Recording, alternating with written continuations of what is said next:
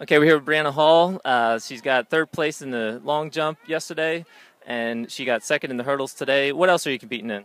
Um, 300 hurdles, four by one, and yeah, that's it today because I did the 100 meter hurdles. Okay, and uh, so third and fir- uh, second, how do you feel about those? I'm pretty happy. Think I can do better. Aiming for way, way better next year. And what year are you now? I'm in 10th grade.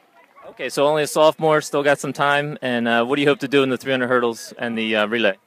I hope to place top three in the 4x1 and top eight in the um, 300 hurdles. Well, congratulations on your accomplishments so far, and good luck in the rest. Thank you. Thank you.